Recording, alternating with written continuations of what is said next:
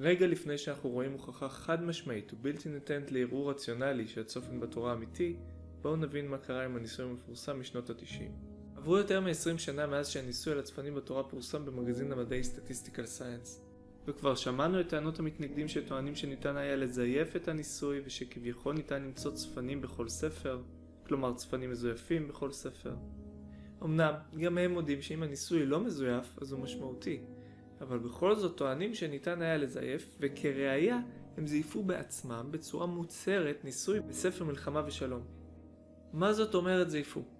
הם לקחו שמות של רבנים ועיוותו אותם פחות או יותר כפי שהם רצו על מנת שהשמות המהונדסים שלהם יימצאו בדילוגים בטקסט של מלחמה ושלום בצורה כזו שזה ייראה משמעותי מבחינה מתמטית.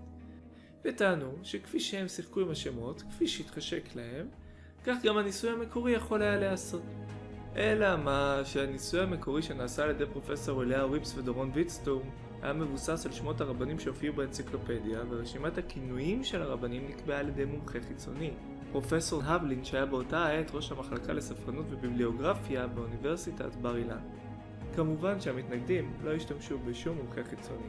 יתרה על כך, דורון ויטסטום הסכים להמר על מיליון דולר אם רשימה שיכין מומחה לאיות שמות מוסכם תצליח יותר בספר שלהם מאשר בספר בראשית. וכמובן שאתם יכולים לתאר לעצמכם שהמתנגדים לצופן בתורה התנגדו גם למיליון דולר, כי הם הרי רצו לעוות את השמות שלהם כפי שמתחשק להם, אז איך הם יסכימו למומחה חיצוני שיגיד להם כיצד צריך לאיית? יחד עם זה, בשלב מאוחר יותר, פרופסור רוברט הרליק, שהוא מומחה בעל שם עולמי לזיהוי תבניות וצפנים, וכיהן כנשיא האגודה הבינלאומית לזיהוי תבניות, יועץ לנאס"א ומומחה גדול מאוד בטכנולוגיה ואינטליגנציה מלאכותית ומתמטיקה, הוכיח בצורה מדעית שהממצא של המתנגדים במלחמה ושלום מזויף, בדיוק כפי שהמתנגדים בעצמם אומרים, ושהממצא של פרופסור אליה ריפס ודורון ויטסטום אמיתי, בדיוק כפי שגם הם טוענים. בנוסף, חוקר צפנים בכיר מהפנטגון, הרולד גנץ, הוסיף ניסוי משלו בכדי לבדוק אם ניתן להכריע מה זיוף ומה לא, וגילה שניתן להוכיח שהניסוי של פרופסור אליהו וויקס ודורון ויטסטום הוא ניסוי אמיתי, על ידי זה שהוא בדק האם אינפורמציה נוספת נמצאת במקומות שבהם נמצאו שמות הרבנים בדילוגים. בנוסף לזה, לאחרונה דורון ויטסטום עשה ניסוי מתמטי והוכח חד משמעית, מתמטית, שהממצא בתורה הוא אמיתי, ואילו הזיוף המוצר של המתנגדים אכן זיוף. כלומר, יש דרך מתמטית להכריע את הסוגיה, ואני מצרף קישור שתוכלו לראות את זה בעצמכם. דרך אגב, מאז פורסמו עוד מאמרים מדעיים רבים אודות הצפנים בתורה, בשנת 2006 למשל בכנס בינלאומי של זיהוי תבניות. מי שרוצה לקרוא את המאמרים יכול לעשות זאת באתר של דורון ויטסטום, ובעזרת השם, קישור יופיע בתיאור הסרט. כמו כן, בעזרת השם בהמשך נראה התייחסות ישירה של פרופסור אליהו ריפס להתנגדות של מזייפי הצופן במלחמה ושלום. עכשיו, כ-20 שנה לאחר הניסוי שהתפרסם במגזין המדעי Statistical Science, אני שמח להציג בפניכם פריצת דרך משמעותית מאוד. פרופסור אליהו ריפס, בשיתוף עם מדענים אחרים, הצליחו בעזרת השם למצוא צופן שאי אפשר לזייף. צופן שמבוסס על מילים במעמד אפריורי, כלומר, הצופן מבוסס על פירוש רש"י, שחי לפני כ-900 שנה בצרפת, ורש"י הוא זה ששייך את מילות המפתח שנמצאו בצופן התורה למקומות הספציפיים שבהם נמצא הצופן בתורה. ברשותכם אני חוזר על זה שוב. נמצאו צפנים המבוססים על פירוש רש"י לתורה, והצפנים נמצאים בדיוק היכן שרש"י אמר שהמילים המוצפנות קשורות לטקסט של התורה. אם ההסתברות נמוכה, ואני כבר מכין אתכם לכך שההסתברות מאוד נמוכה, פי כמה וכמה מאשר הניסוי המקורי בשנות ה-90, שגם הוא היה מספיק מעל ומעבר להוכחת הצופן התנ"כי, אז אי אפשר לזייף את זה. כי הרי מה יעשו המתנגדים הפעם? הם לא יכולים להגריל איזה מילים שהם רוצים ולעוות אותם כפי שהם עשו בניסוי הקודם, מכיוון שהמילים חייבות להיות במעמד אפריורי. דהיינו שמישהו אחר, שלא יכול היה להיות בקשר איתם, כבר קבע מראש בדיוק אילו מילים קשורות לטקסט בו נמצאים הצפנים. אנחנו מדברים פה על אחת התגליות המשמעותיות ביותר לדעתי. פרופסור אליהו ריפס ומדענים נוספים הצליחו בסייעתא דשמיא למצוא צופן שאי אפשר לזייף. ברגע שאי אפשר לזייף, כל טענות המתנגדים נופלות בזו אחר זו. כי כל הטענות שלהם התבססו על זיוף. אז מדובר בממצא חסין לחלוטין שכל בן אדם שמסתכל על זה לא צריך להאמין למבצע הניסוי בכלל. הוא יכול לראות את הנתונים, לבדוק אם באמת המילים במעמד האפריורי, כלומר לפתוח פירוש רש"י לתורה כפי שתכף תראו, ולהיווכח בזה שהצופן בתורה זה דבר מוגמר, אמיתי, עובדתי.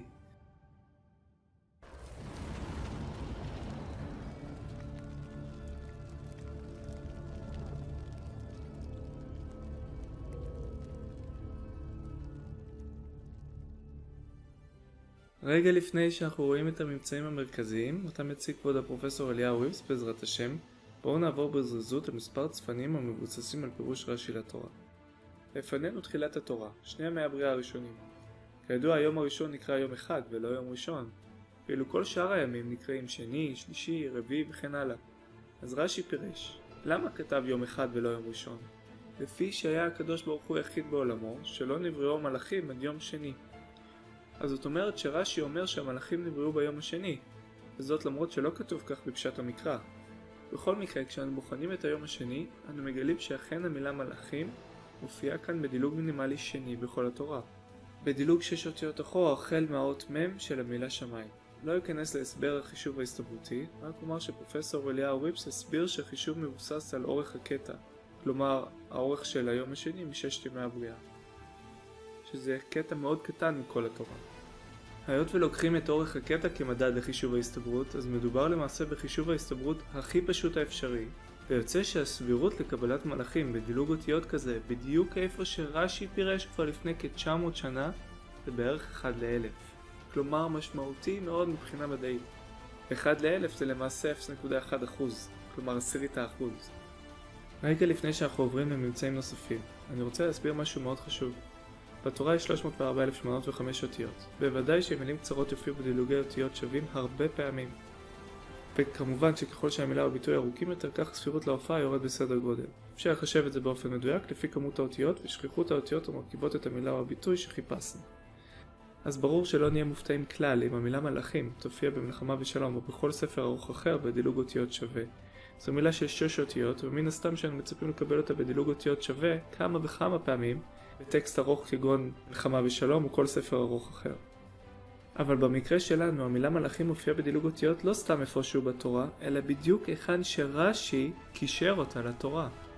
ולכן יש לזה משמעות מדעית מאוד גבוהה, כי זה בול פגיעה במקום מאוד ספציפי. זאת אומרת, במקום 304,805 אותיות, בערך 300,000 אותיות, יש לנו למעשה רק כ-150 אותיות שבהן היינו מצפים לקבל את המילה הזו בדילוג אותיות. במקרה שלנו, ביום השני מששת ימי הבריאה. והנה היא באמת מופיעה שם. כלומר, נניח שמישהו שלא ידע שאנחנו מחפשים צפנים בספר או טקסט כלשהו, במקרה של מתנגדים מלחמה ושלום, היה כותב לנו בעבר, בעבר כדי לוודא שהוא לא ידע שאנחנו מחפשים צפנים, שבמקום מאוד ספציפי בספר או בטקסט, יש מילה שלא מופיעה בטקסט עצמו. והיינו מגלים את המילה הזו בדילוג אותיות שווה בדיוק בקטע הקצר הזה. אז זה היה מעניין. כמה מעניין? לפי אורך המילה או הביטוי ושכיחות האותיות. וכמובן שאם יותר ממילה אחת או ביטוי אחד מופיעים באותו מקום, אז המשמעות רק הולכת וגוברת בצורה אקספוננציאלית. בהמשך נראה צפנים שההסתברויות שלהם משמעותיות עוד הרבה יותר ממה שראינו עד כה בעזרת השם. אבל זה לא הכל. המילה מלאכים מופיעה כאן בדילוג השני הכי מינימלי שלה בכל התורה. כלומר, המילה מלאכים מופיעה הרבה פעמים בדילוגי האותיות. כצפוי כי זו מילה לא ארוכה והאותיות המרכיבות אותה לא נדירות. אבל עיקרון מארגן שנמצא בעבר בצפנים אחרים, המוכיח שיטתיות המאפיינת הצפנה, הוא שככל שהמילה או הביטוי, במקרה שלנו מלאכים, נמצאים בדילוג אותיות יותר קטן, כך זה יותר מעניין מבחינה מדעית.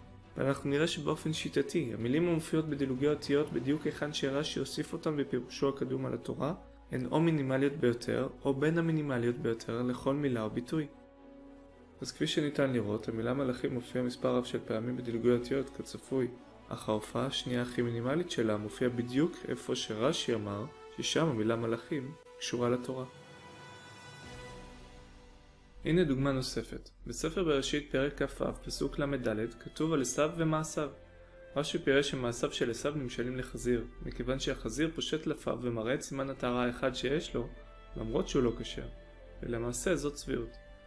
כך גם מעשיו של עשיו נראים כביכול כשרים, אבל הם לא. עכשיו אנחנו מסתכלים בצופן ומגלים שהמילה החזיר הופיעה בסמיכות רבה מאוד לפסוק הזה, בדילוג חמש אותיות אחורה שזה הדילוג הקטן ביותר בכל התורה. נעבור לדוגמה הבאה. בפסוקים האלו מסופר על חלום של יוסף. רש"י מפרש שיעקב אבינו, אביו של יוסף, גר ביוסף, מכיוון שלפי החלום אמא של יוסף אמורה להיות חיה, אבל כידוע בשלב הזה אמא של יוסף, כלומר רחל, כבר מתה. והנה בדיוק במקום הזה מופיעות שתי מילים כביטוי אחד רציף. רחל מתה. רש"י פירש, אמך כבר מתה בשם יעקב אבינו, וכאמור אמו של יוסף היא רחל. דוגמה נוספת מספר בראשית. יעקב אבינו דיבר על יוסף ושלח אותו לשכם. רש"י בפירושו על התורה סיפר שיש קשר בין הפסוק הזה לבין המלך רחובעם שיחיה רק בעוד הרבה מאוד שנים בתקופת המלכויות. והנה כאשר אנו מסתכלים על הפסוק הזה, אנו מגלים את המילה רחובעם בדילוג 33 אותיות, שהדילוג המינימלי בכל ספר בראשית מופיע בדיוק כאן. והנה עוד דוגמה מספר בראשית.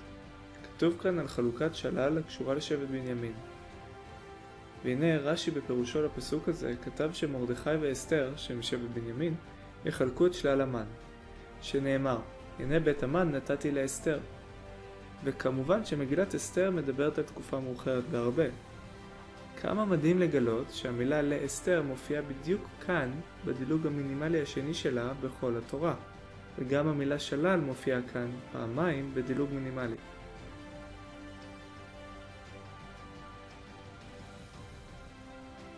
הנה דוגמה מספר שמות.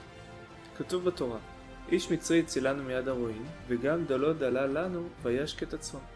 ויאמר אל בנותיו, והיו למה זה עזבתן את האיש, קראנה לו ויאכל לכם. רש"י פירש על הפסוק הזה שהאיש הזה הוא מזרעו של יעקב, ושהמים עולים לקראתו. בכתיב מדויק רש"י אומר שהמים עולות לקראתו בנקבה. פירוש שפתי חכמים על פסוק זה אומר, ועלו המים לקראתו. עכשיו, אנחנו רואים שהמילים עלו המים מופיעות כאן בדילוג שבע אותיות כביטוי אחד ארוך, והסבירות להופעת ביטוי כזה ארוך בדילוג אותיות כה קטן, שבע אותיות, נמוכה מאוד. אמנם זה לא ציטוט מדויק של רש"י, אלא של שפתי חכמים, ושינוי קל מהאיות שרש"י השתמש בו.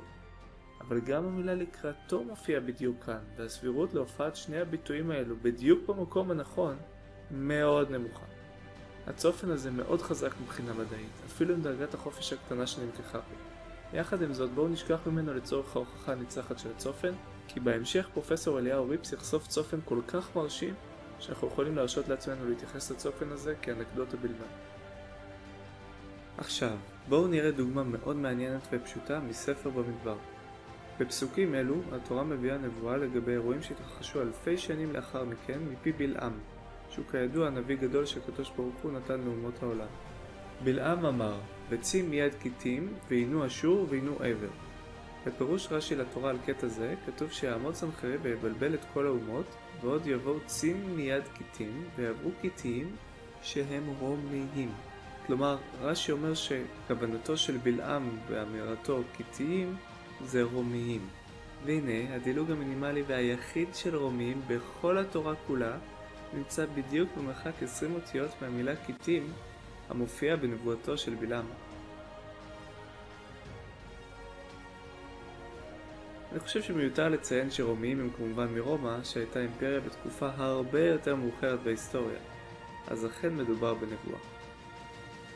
אנחנו יכולים להמשיך ולהציג עוד הרבה דוגמאות ברוך השם, אבל בואו נעבור לדוגמה אחת אחרונה לפני שפרופסור אליהו ריפס יציג את הממצאים המרכזיים ויראה לנו גם את חישובי ההסתברות שלהם. אז לפנינו צופן המופיע במקום בו התורה מתארת את המיקום הגיאוגרפי של בית המקדש. אבל הקדוש ברוך הוא לא נקב בשם העיר בשעת המקרא, כפי שנאמר, והיה המקום אשר יבחר אדוני אלוהיכם בו, לשכן שמו שם. התורה מחביאה בכוונה את שם העיר ואת הר המוריה בהקשר של בית המקדש, ורק מי שכמונו יודע את העתיד, יודע שהכוונה לירושלים. בפירוש רש"י לתורה, רש"י אומר את המובן מאליו לכולנו, מה שכתוב בתורה והיה המקום, הכוונה בנו לכם בית הבחירה בירושלים. כמה מדהים לגלות את השם ירושלים חותך בדיוק את הפסוק בו כתוב והיה המקום אשר יבחר אדוני אלוהיכם בו לשכן שמו שם. והמילה ירושלים מופיעה כאן בדילוג 209 אחורה, שזו ההופעה השנייה הכי מינימלית שלה בספר דברים. כפי שבוודאי שמתם לב, רש"י כתב ירושלים בכתיב מלא, ובצופן ירושלים מופיע בכתיב חסר. כידוע, ירושלים לא מוזכרת בתורה כלל, אך במקרא השם ירושלים מופיע ב-99.2% מהמקרים בכתיב חסר, בדיוק כפי שמופיע בצופן. ועכשיו, בואו נעבור להצגת הממצאים המרכזיים על ידי פרופסור אליהו ריבס בעזרת השם. עכשיו אני עובר לממצא שמצא ידידנו נחום בומבך בספר במדבר, ויש כאן על הפסוק הזה פירוש של רש"י, שעל פי הגמרא בסנהדרין, רש"י אומר איך חטאו בני ישראל בעגל ובמרגלים. הביטוי בעגל ובמרגלים, ביטוי של 12 אותיות, הוא לא מופיע. אם מורידים את האות ב' ומקריבים עגל ומרגלים, זה ביטוי של עשר אותיות, הוא כן מופיע, הוא מופיע בדילוג 204. כשהם מחלקים את השורה לשתיים, כלומר אורך שורה 102, אז רואים שבדיוק באמצע הפסוק הזה מופיע השם ערך אפיים. ואיפה זה מופיע? בפרשת המרגלים, שהאות העליונה של מ' של מרגלים מופיע ויבכו העם בלילה ההוא.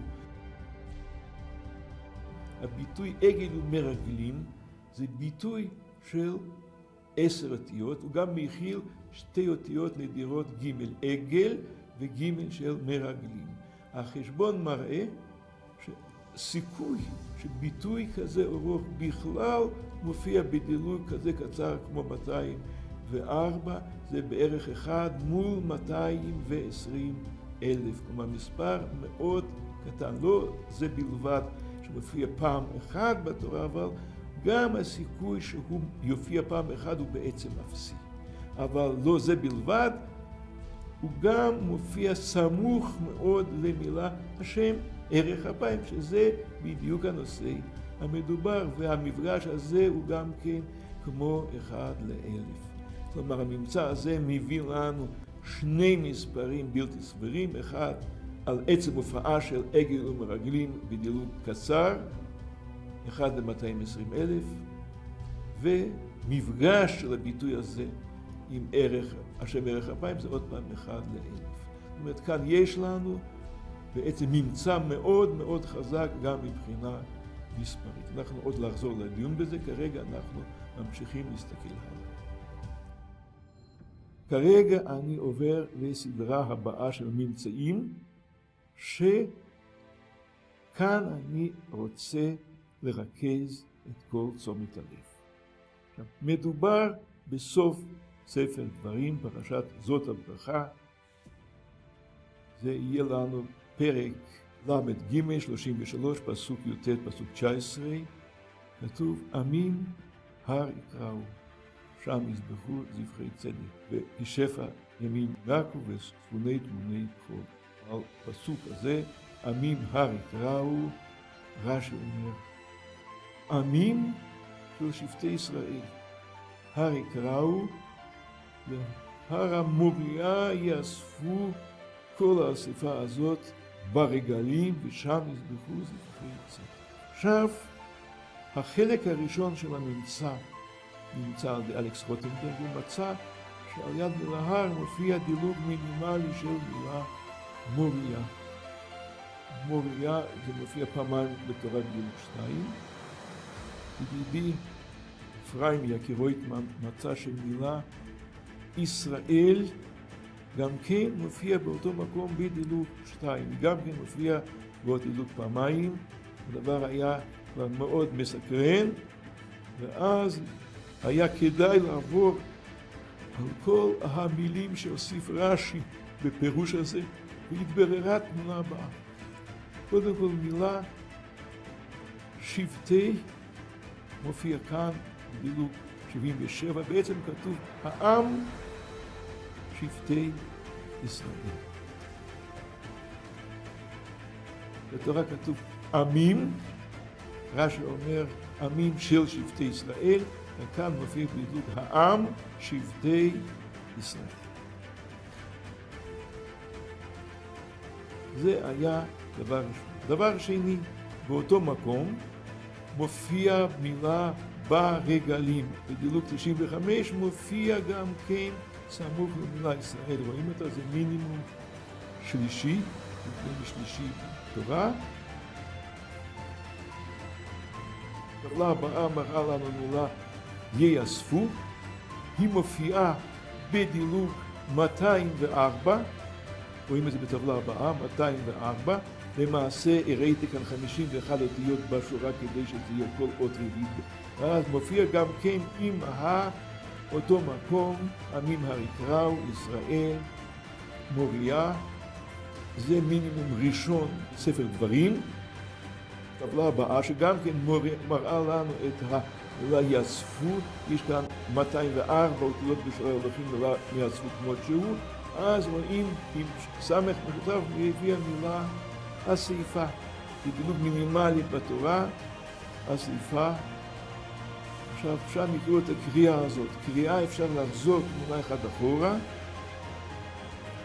ובעצם זה אומר לנו שכל מה שהוסיף רש"י בפירושו על הדיבור הזה, עמים היקראו, כל המילים האלה נמצאים כאן סמוך לקטע הזה, עמים היקראו.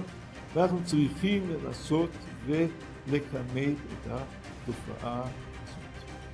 עכשיו, לפני שאני בא לכמת, אני רציתי פשוט להראות איך זה נראה מבחינת הנתונים כמות שהם.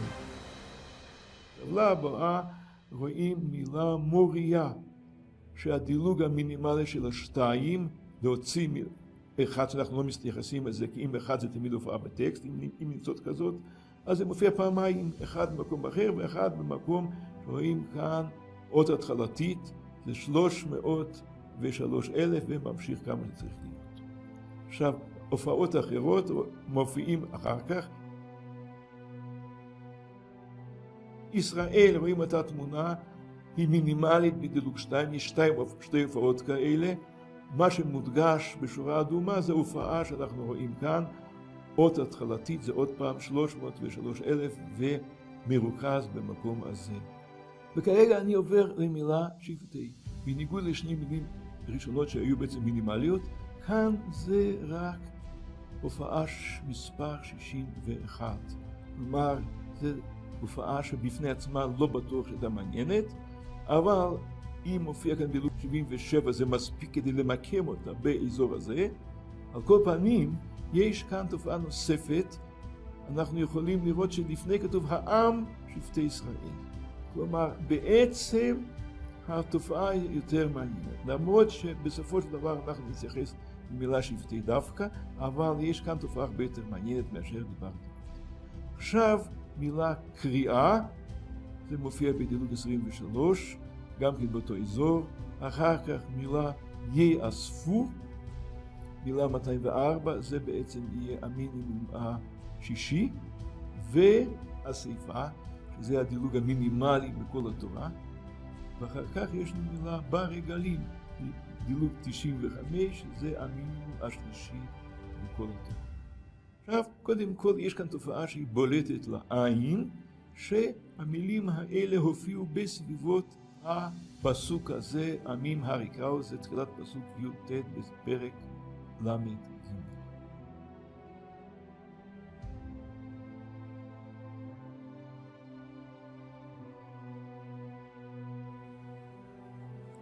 עכשיו אני מגיע לנתונים מספריים. קודם כל, כמה מילים איך התהווה הממצא הזה בכללותו. בהתחלה זה היה ממצא מאוד יפה של דוקטור אלכס רוטנברג, שעל יד עמים הר יקרא הוא מצא דילוג מוריה בדילוג שתיים, זה מינימלי, וסך הכל מילה מוריה בדילוג מינימלי מופיע פעמיים בכל התורה. הממצא הזה כבר הוצג הרבה זמן.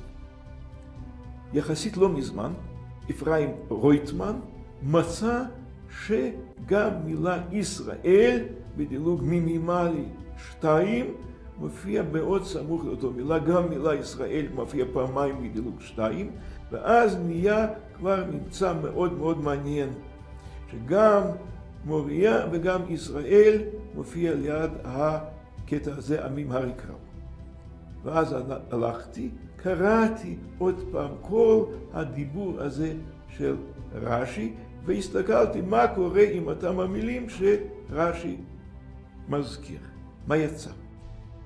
נמצא שכל המילים שהופיעו ברש"י, שרש"י הוסיף בפירוש על הפסוק הזה, כל שבעת המילים אכן הופיעו בקרבת המקום הזה. איך אנחנו יכולים לגשת למדידה? קודם כל אנחנו מסתכלים על הממצא הראשון, מוריה ליד עמים הר יקראו, כי זה כאילו היווה לנו את נקודת המוצא של כל הטבלה הזאת. מדידה בעצם הראתה שהמובהקות של הממצא הזה יוצא לנו אחד ל-30 אלף, שזה בסך הכל מובהקות עצומה, בעצם מכל הממצאים שאני מכיר כאן בפירוש של רש"י, שנותנים את המילות מפתח, אז אני חושב שזה המבצע הכי חזק, ועל זה אנחנו בונים כל מה שיש לנו בנוסף.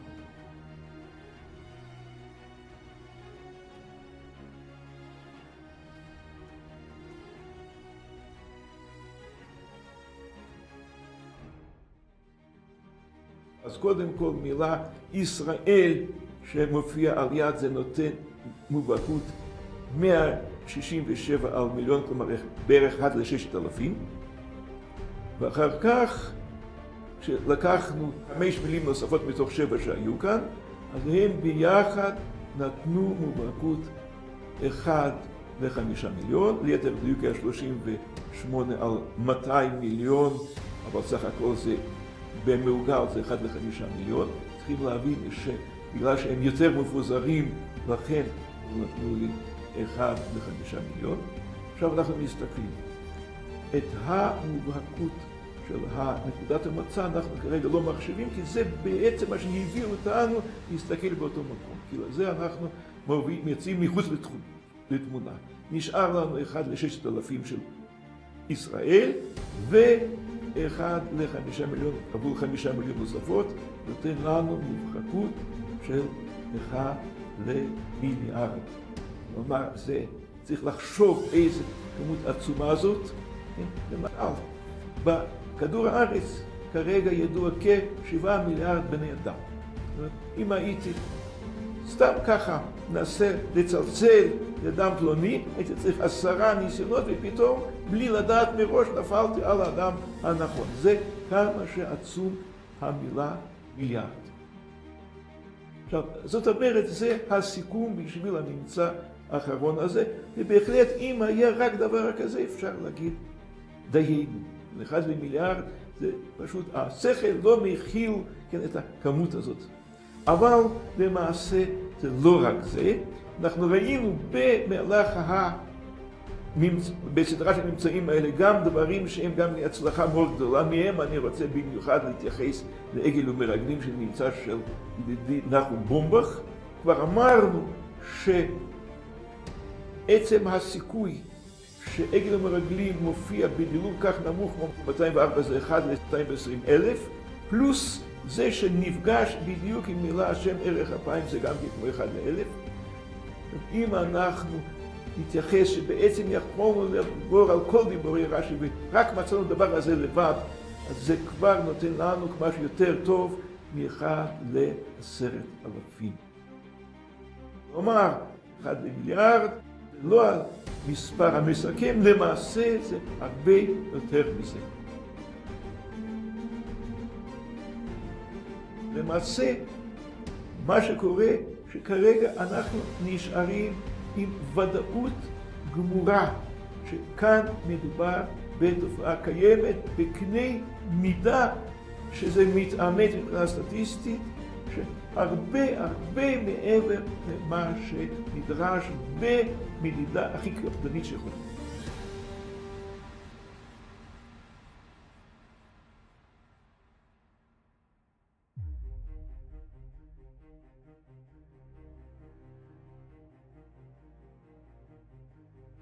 יש הרבה מפרשי תורה. למה כבוד הפרופסור בחר דווקא בפירוש רש"י לתורה?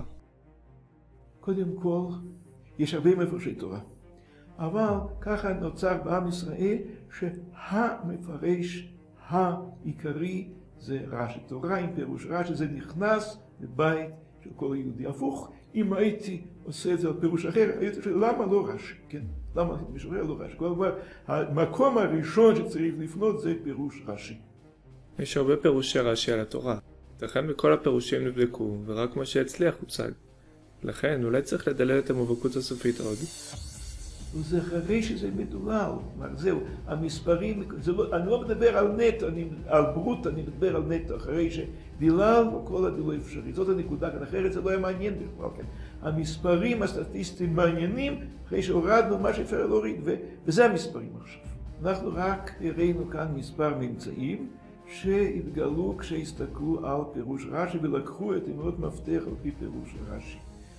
לצערי לא עשינו בדיקה יסודית מקצה לקצה, למרות שזה היה מאוד ראוי לעשות, אולי פעם באמת נעשה את זה. למעשה מה שראינו זה לקט של ממצאים. אבל כשאנחנו מגיעים לסיכום מספרי כבר דבר כזה, אם היה רק הממצא האחרון שמדבר עמים הרי קראו, בלא שום דבר אחר, אז אנחנו כבר מגיעים לסיכום אחד למיליארד, וזה בהנחה שבכלל לא היו שום ממצאים אחרים בכלל.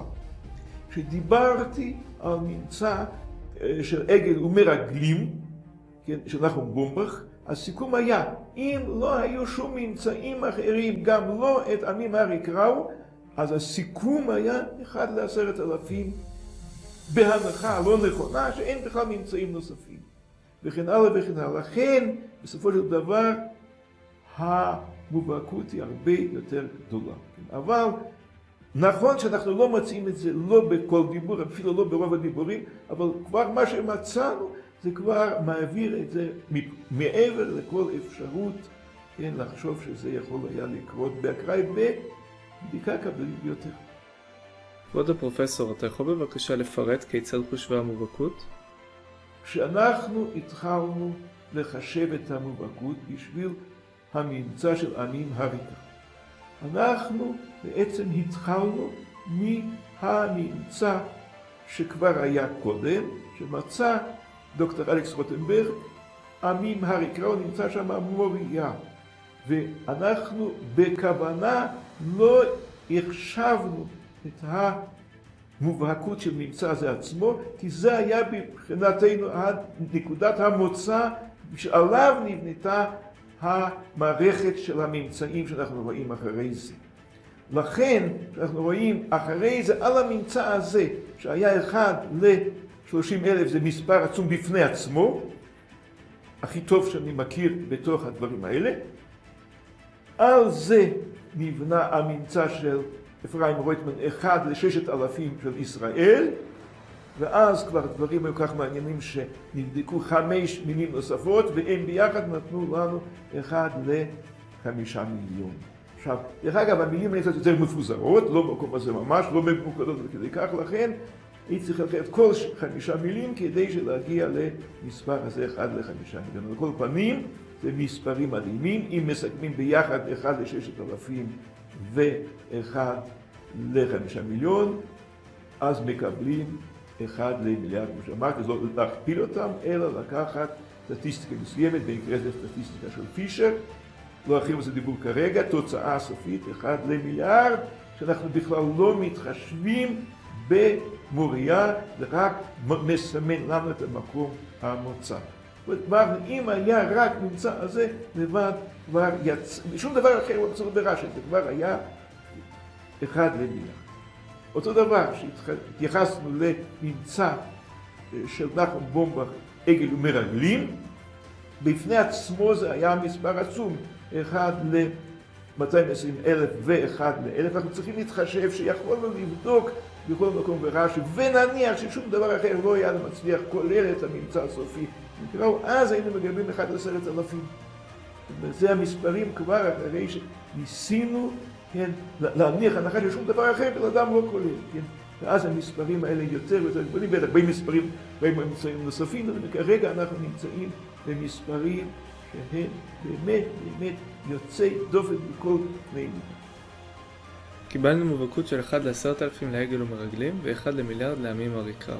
האם אפשר להכפיל ביניהם בשביל לחשב את המובהקות הכללית? בדיוק להכפיל, צריכים לקחת את הסטטיסטיקה של פישר המספרים כבר לא משחקים כאן תפקיד. כמות הזה כאן אפסים אי אפשר, אדם יכול לתאר את זה, כן, כמה שזה דברים שלא ניתן לעלות, לדעת כמה זה. האם הממצא הזה של הצופן בתורה על בסיס פירוש רש"י יפורסם במגזין מדעי? אז השאלה היא כזאת, האם דבר כזה ראוי לפרסום מדעי? אין בזה שום ספק. האם הוא יזכה לפרסום מדעי? נקווה בעזרת השם, נחיה ונראה. כן, אבל כמו שאומרים, כולי היי כולי. ולמה לא בעצם? למה לא בעצם? בגלל שמאז הוויכוח שהיה אז על הניסוי הקודם שלנו והתגובה של המבקרים שמתנגדים של זה, בעצם כל הנושא הזה אה, בעצם נסגר לפני דלתות הפרסום הזה. ונראה, אולי בכל זאת הממצאים הם כאלה שאולי זה יזכה, אבל אי אפשר לדעת. נראה שהממצא הזה בנוי בצורה כזו שאין שום צורך לסמוך על מבצע הניסוי. כי אין כאן מרחב חופש למבצע הניסוי, היות ומילות המפתח כתובות מראש על ידי רש"י, וגם השיוך שלהן לתורה נעשה על ידי רש"י. מה דעתו של הפרופסור? כל המטרה הייתה להראות דברים, קודם כל, שזה דבר פשוט, שזה שקוף, שזה נראה לעין, ושלא יכול ליפול צל של ספק שאותם המילים שלקחנו, שצריכים לקחת אותם, ולא מילים אחרות. על כל זה, זה בדיוק היתרון העצום כל מערכת. הלכנו פשוט לפי רש"י.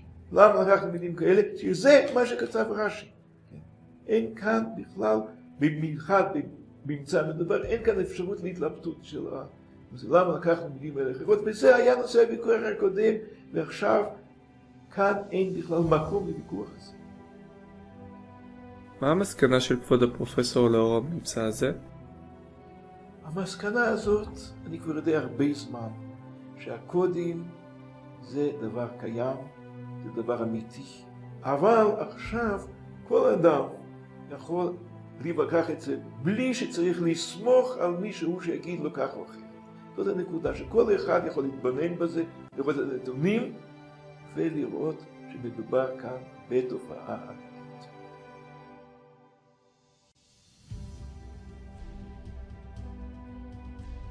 ניסוי שהתיימר להיות ניסוי הדוק.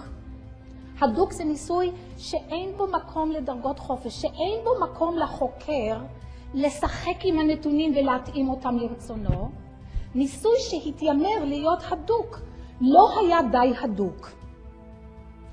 פרופסור מאיה בר הלל מתייחסת לניסוי של הרבנים שבזמנו פורסם, וזה היה עד הדור.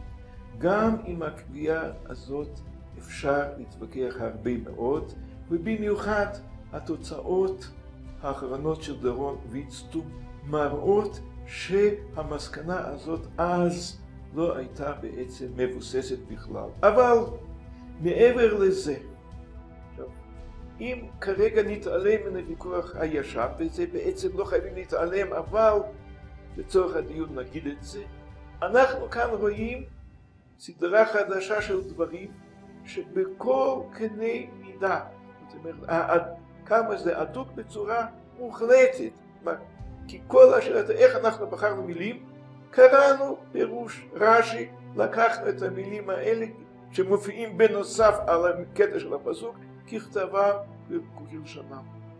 כאן לא, כלומר מבחינה הזאת זה לא רק הדוק, זה סגור מבחינה הרמטית. ומספרים כאן עוד הרבה יותר חזקים מאשר היה בניסוי של הרמטס. מי שיקרא הניתוח המאוד יסודי שעשה דרון ויצטו מתנות המתנגדים, וזה נמצא באתר שלו, ואני מאוד ממליץ לקרוא את זה בתשומת לב, מתברר שהדברים כאלה לא נכונים. למעשה הם לא הלכו לפי אותם הכללים שסוכמו על ידי פרופסור הבלין ושאנחנו השתמשנו בניסוי הזה, כלומר לא היה אותו ניצול של הדרגות חופש. אבל אפילו נניח לנקודה הזאת, ואני רוצה להסביר קודם כל את ההיגיון של פרופסור מר בהלל. אם אומרים, אם אנחנו יכולים ליצור רשימה כביכול דומה שתיתן הצלחה במלחמה ושלום, אז ממילא זה אומר שהערך של הצפנים כאן וכאן שווה, כלומר אין שום דבר כזה וכל העסק הזה נופל.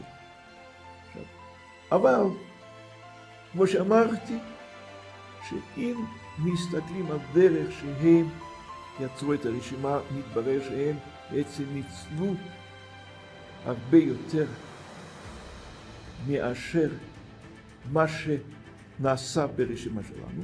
דבר שני, לא מזמן, ויצטום עשה ניסוי נוסף. הוא לקח בספר תורה קטע מתחילת התורה שאורך שלו כפול מספר בראשית. אם בספר בראשית היא 78 אלף אותיות, אז 156 אלף אותיות. אותו אורך של קטע הוא לקח מתחילת מלחמה ושלום, כפול באורכו. ועכשיו השתמש בדיוק ברשימה מקורית שהייתה לנו באותה שיטת מדידה, ובדיוק על התורה, ובדיוק באותה רשימה שהיה להם במלחמה ושלום. מה ניתן לצפות? אם מדובר בממצא אותנטי, אז יש מקום לחשוב התוצאה תתחזק, כי יתווספו עוד דברים שלא היו קודם. אם מדובר בארטיפקט, כלומר תוצאה של מניפולציה, אז הממצא עשוי להיחלש, כן? כי סך הכל הוא לא שואב כוחות נוספים, ואותם הדברים שקרו קודם, שמדוללים על פני קטע יותר רחב, הם... ובכן, מה קרה? התוצאה בתורה השתפרה יותר מפי אלף. לעומת זה, התוצאה במלחמה ושלום נפלה כמעט לגמרי, כלומר נחלשה מאוד. כלומר, הוא מצא דרך להבחין בין ממצא אמיתי לבין ארטיפקט תוצאה של מניפולציה. הרי זאת בדיוק הייתה נקודה של פרופסור מאיר בר הלל, שלא ניתן להבחין בין ממצא אמיתי, כמו בספר בראשית שהבנו, לבין תוצאה של מניפולציה, והנה דרון מצטמרה שיש דרך להבחין, והבחנה מראה שנמצא בספר בראשית היה אמיתי והתחזק, שלקחו את הקטע יותר אחד והתחזק פי אלף, לעומת זה התוצאה של מניפולציה גלויה במלחמה ושלום נפלה מאוד כשהרחיבו את הקטע. כלומר, בדיוק באותה נקודה שפרופסור מאיר בר הלל רצתה להראות שהממצא הזה של ניסוי הזה הוא לא תקף, התברר שהוא כן תקף. אנחנו לא בהכרח טענו שוויצטום וריפס יישאו, עין סמך, יישאו את הנתונים. לא טענו את זה. הראינו רק שניתן לעשות את זה. קודם כל, אני מודה לפרופסור מאי בר הלל, שלא רצתה להאשים אותנו ברמאות ישירות. היא אמרה משהו קצת פחות, למרות ש... מה היא אמרה? שניתן לעשות מניפולציה ניתן לעשות מניפולציה של נתונים וכביכול לקבל תוצאה דומה. והניסוי שהם ערכו על מלחמה ושלום היה אמור להוכיח את התזה הזאת. ועכשיו, מה התברר? שדורון ויצטו הכפיל את הקטע בתורה מצד אחד ובמלחמה ושלום מצד שני, התברר שיש דרך להבחין בין ממצא אמיתי, כמו בתורה, שכשהרחיבו את הקטע אז הוא התחזק, פי אלף בעצם, ולבין ממצא של תוצאה של מניפולציה בלבד, שבתוך מלחמה ושלום, שהרחיבו את הקטע, תופעה, תוצאה מאוד מאוד נפלה. כלומר, זה לא רק עניין של ויכוח מילולי, הניסוי המדעי הראה שלא הגיעו כאן לאותה תוצאה שהם רצו להוכיח שאפשר לעשות מניפולציה. כלומר, הנקודה הזאת ונקודה מרכזית הופרכה. אני רוצה לומר שספק בעיניי אם אני צריכה לחזור בי ממשהו, כי הדבר היחיד שאמרתי זה שניסוי הרבנים לא עומד במבחן הביקורת. לא שמעתם אותי אומרת את דעתי מי כתב את התורה, לא שמעתם אותי אומרת את דעתי אם יש בצופן או אין בצופן. היה ניסיון להוכיח משהו, הניסיון הזה לא עומד במבחן הביקורת. ספק בעיניי אם יש איזושהי עבודה שתגרום לי לחזור בי מהדבר הזה. דומני אפילו שפרופסור ריפס עצמו מוכן להגיד שניסוי הרבנים היה ניסוי ש... שהיה ראוי לביקורת שהוטחה נגדו. קודם כל, עם כל הכבוד, אני ממש לא מסכים עם קביעה אחרונה. אומרת, שמנסה להגיד שאני בעצמי מטיל ספק בניסוי של הרבנים. ודאי וודאי שלא. אומרת, דבר כזה ממש לא נכון, אבל יש כאן משהו הרבה מעבר לזה. התברר שאותה ביקורת שהוטחה נגד הניסוי שלנו, בסופו של דבר התבררה כלא תקיפה. זה דבר אחד. אבל אני בכל זאת רוצה לשים לב לתשומת לב למשהו הרבה יותר חשוב, שכשאנחנו עושים הרבה דברים נוספים, ומה שראיתם כאן זה רק אחד מרצף של הממצאים שכל אחד מהם העיר איזשהו פן חדש, איזשהו צד חדש של המערכת הדילוגים, אנחנו לא דיברנו עליהם בכלל, אבל הגענו בסופו של דבר לניסוי שהוא כה פשוט, כה ישיר, כה שקוף, נותן מספרים כה מדהימים, שכל ויכוח רציונלי אמור, אמור עכשיו להסתיים. לא, שאלה. אני רוצה לשאול את פרופסור ריפס משהו. פרופסור ריפס, אני יכולה לשאול אותך משהו? חילוקי הדעות בינינו ידועים. יש לי שאלה אליך. האם שגיתי בהצגת עובדות? אני זוכר מאוד אותה הרצאה של פרופסור מאיה בר הלל שהייתי נוכח בה. כן. ואני צריך להגיד, סך הכל ההצגה שלה הייתה מאופקת, עניינית, היא לא ניסתה להשמיץ אותנו. עכשיו, בסופו של דבר, אותן העובדות, כמובן מנקודת ראות שלה, היא הציגה בצורה די הוגנת. רק מה, יש לנו ויכוח עקרוני, אומרת, מה תקף ומה לא תקף. כמובן, היא סברה שתוצאות שלנו לא תקפות ושהם הצליחו להפריך אותם, האמת היא בדיוק הפוכה. מעבר לזה, הצגה של הייתה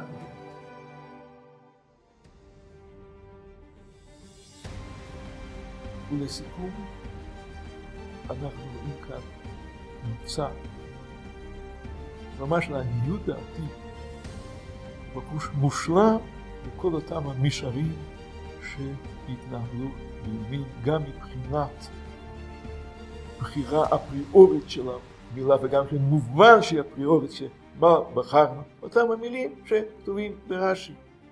עכשיו, מה מבחינת המדד? לקחנו המדד הכי פשוט של אורך הקטע. לא היה לנו בעצם איזושהי השפעה של טווח הדילוגים, בגלל שהמדד של האורך, זה כל מה שאנחנו מוסיפים, אנחנו בעצם נשארים עם אותה תמונה סטטיסטית. לכן אפשר להגיד שזה דבר שסגור, כל הדברים האלה, וצריכים קודם כל לזכור את כמה שהמספרים הם באמת חזקים, ולכן אני...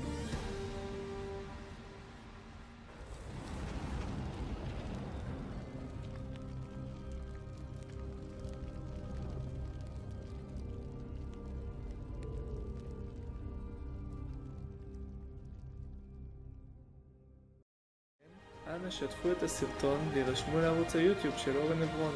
שם תוכלו למצוא עוד סרטים מממצאים מתמטיים ומדעיים של פרופסור חיים שור, פרופסור אליהו וויפס, הרב יצחק גינזבורג ועוד.